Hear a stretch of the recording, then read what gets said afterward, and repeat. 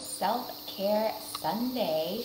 My name is Alexa Hanshaw for those of you that are new, and I am a functional health and nutrition coach, and I empower women to push past the confusion of the health and wellness industry to really create lifestyle habits that really bring them energy and help work with their bodies instead of against it. And in today's Self Care Sunday, we are going to be talking all about creating the perfect smoothie. And really, what I mean about that is not a specific this ingredient, this ingredient, this ingredient smoothie, but really how to build a nutrient dense smoothie based on your specific taste, what you have in the fridge, and really making sure that you are staying full and happy for hours to come after eating your smoothie. So go ahead and let me know in the comments if you are watching this hashtag live or hashtag replay and let me know what your favorite smoothie is. Do you have a specific ingredient that you love, a specific taste that you love? And while we're getting into that, I'm going to go ahead and jump right in.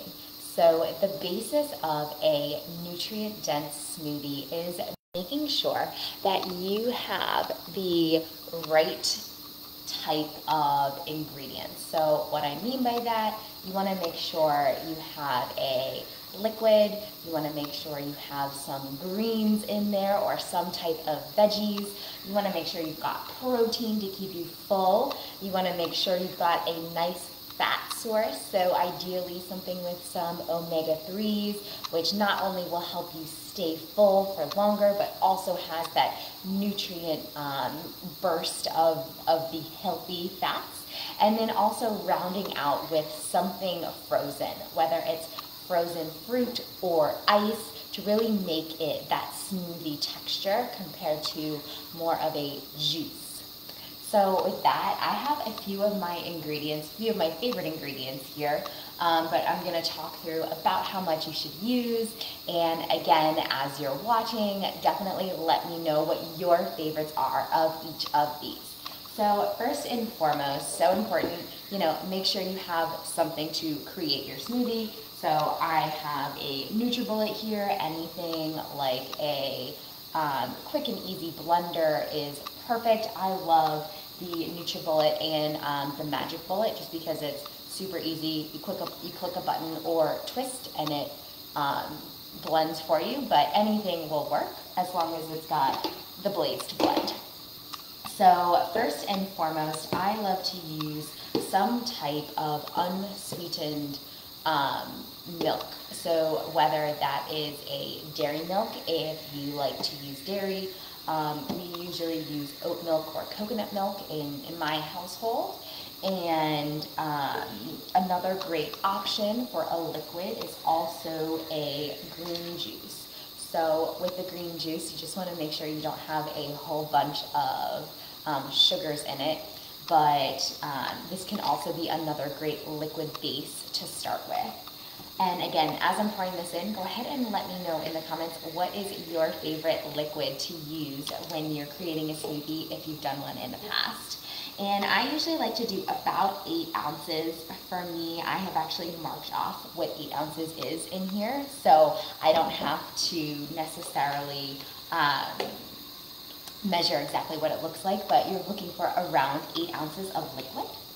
And after you add in your liquid, I love to move on to protein source. So for me, I usually choose a powdered protein that is plant-based. And again, as always, super important to look at the ingredients, see what's in there, see if there is um, about how much protein is in there. I like to choose something that has about 20 um, but really anywhere 15 to 25 is probably a good place to start. Um, and then you also have whey-based proteins as well, again, if dairy doesn't bother you. And then from there, you know, these are easy. They usually have the right amount of um, the, the measuring in there for you.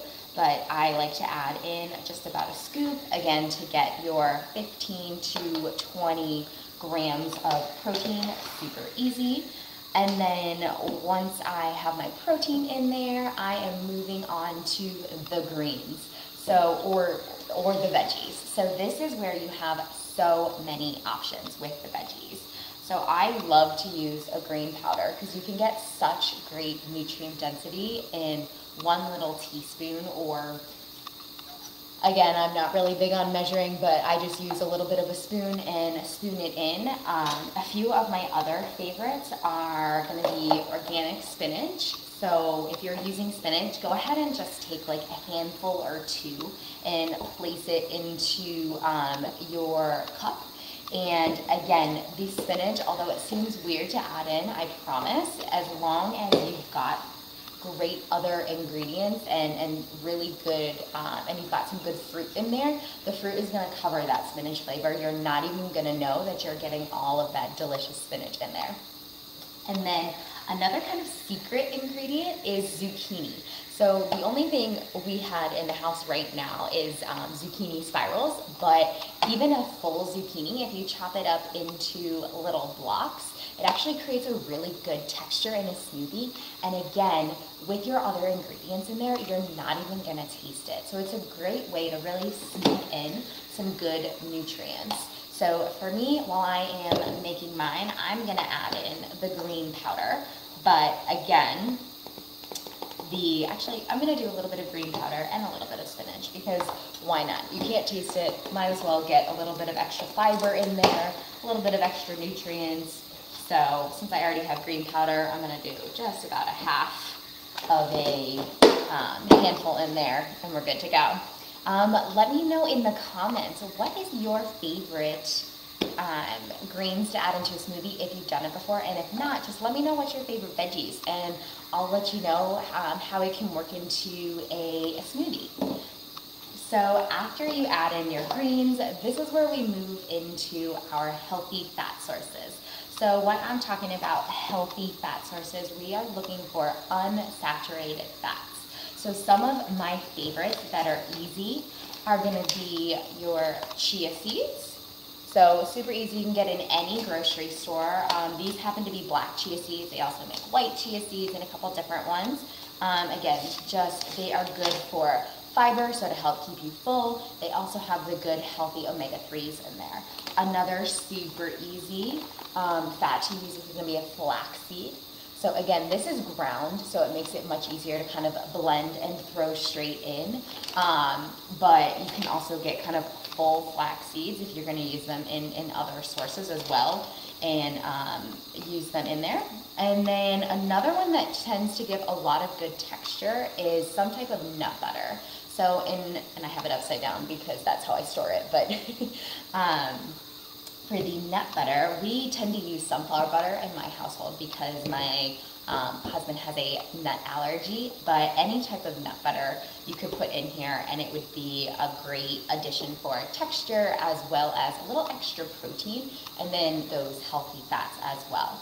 And for me, um, oh, another another great one, which I don't have right now because I haven't gone grocery shopping yet for the week, but um, avocado is actually another great addition and adds a really good creamy texture to your smoothies. So if you're someone that likes more of that milkshake feel in your smoothies, avocado and the zucchini might be a really good um, option for you to try and see if you can get that texture of a milkshake. And for me, I usually like to add in a, just a little bit of flaxseed just because it has that great omega-3 in it. Um, you can see based on the one that you get, it's got your um, serving sizes in here. Now for me, I normally use about a half a serving of um, flaxseed and then either a half a serving of nut butter or half a serving of avocado and that is just because I like the combination, but you could very easily use just one as well. So after we add in our fat, we have the final step, which is adding in the fruit and whatever your frozen item is. So stuff on my hands. so for me, the frozen item that I typically choose to use is a frozen fruit. So if you're not choosing a frozen fruit, if you're going to use um, ice cubes instead, then you'll also want to put some type of regular fruit, um, non-frozen fruit, into your smoothie. So I kind of have both of those here. We have fresh blueberries that we went, um, we actually went, we did blueberry picking last weekend. So I am going to use some of these. You want to make sure that they are rinsed if they're not rinsed yet. And I, when I'm using fresh fruit, I just typically like to do about a serving and for me, that's usually about a handful or so, kind of throwing them in. And then you want to make sure you have about a cup of something frozen. So again, whether you are using fruit that's frozen, um, I love to use berries, any type of berry, strawberry, blueberry, raspberry, blackberry, etc. Um, it just has such great antioxidants in it that it is a really great addition and because it has the pretty strong flavor it can cut any of that green taste that you might get from any of the veggies or the green powder or anything that you put in. Um, so because I already have blueberries in there I'm probably only going to use like two or three um, actually five strawberries went in there so To use five strawberries and I'm to blend it up, kind of see how it goes. And then I might end up adding um, a, a few more um, ice cubes just to get it to the texture that I want. But we'll kind of, I'll see how that goes afterwards. Um, but just to kind of recap before I do the actual blend, we've got about eight ounces of liquid. So anything some type of milk. If you're using a juice, just be mindful of the type of sugar that's in it and how much sugar is in it. Then you've got your protein powder, which is really going to keep you full. It's giving you that um, protein that we should be getting in most meals. And then you've got your fat source, which is, in my case, I've got my flax seeds and I've got my sunflower butter. And then your greens, so green powder, zucchini, um, spinach, even broccoli is great to add in. Um, cauliflower also gives it a pretty good texture as well. And your greens are also another way to get in um, some of your frozen um, some of your frozen options as well. So if you are using a frozen vegetable, then you'll want that to be the last thing that goes in. Um, and then making sure you also add in some of your fruits to cut out some of that green flavor or some of that veggie flavor. And as always, or as I mentioned, you want to make sure you have your frozen items on the top because when you flip it over to actually blend it, that's going to be the first thing that's in the blender. And you want to make sure that that's what's getting blended up and kind of mixed in throughout the rest. So let me know in the comments what is your favorite fruit to either make a smoothie with or something that you might try to make a smoothie with.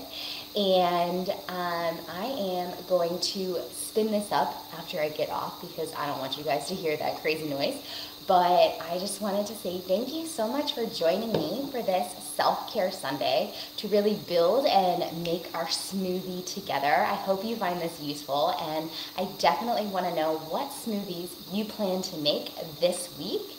And if you're looking for more help either with your nutrition or with your sleep, I just wanted to remind all of you that I do have those freebies in the first announcement at the top of the page to help you reinvent your snack drawer. So making sure you have easy, healthy, and delicious snacks around the house, especially if you're working from home or around the office, if you're um, working in an office. And then the sleep audio and meditation is amazing and helps you not only fall asleep, but stay asleep, which is so important. Thank you again for joining me for Self Care Sunday, and I can't wait to see and hear what kind of smoothies you're going to make this week. Talk to you later. See you next week.